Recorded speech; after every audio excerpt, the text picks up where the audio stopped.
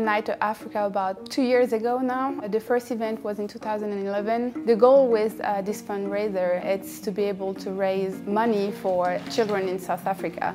Uh, my husband, as you all know, played basketball for the Thunder, but uh, he's uh, from South Africa originally, so we decided to do uh, this fundraiser here in Oklahoma to be able to bring awareness about the condition of the kid in South Africa. The opportunity came uh, when we started working with uh, Imbewu. It's a French, uh, Swiss-based non-profit that we uh, work with. They had the experience because they worked with uh, Roger Federer before that, doing kind of a, after-school program also in a different part of South Africa.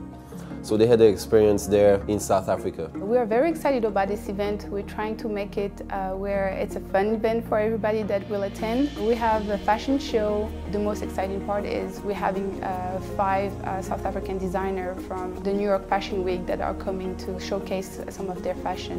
We have a wine tasting part where we have fabulous wine from uh, all over the world, from South Africa, from Burgundy, everywhere. So if you like wine, that's a great event to attend.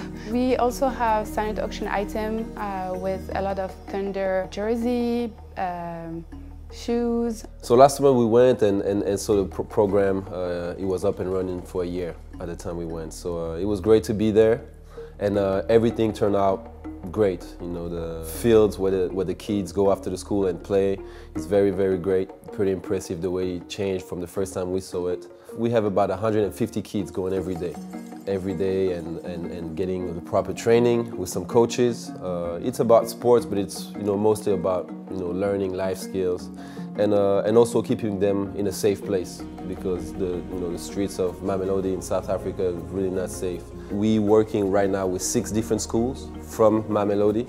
So like I said, it's a lot of school, a lot of kids, and right now we have about 150. So we try to raise that, you know, because we're working with six different schools, and maybe why not, you know, expand it to uh, to uh, to be even bigger in the future.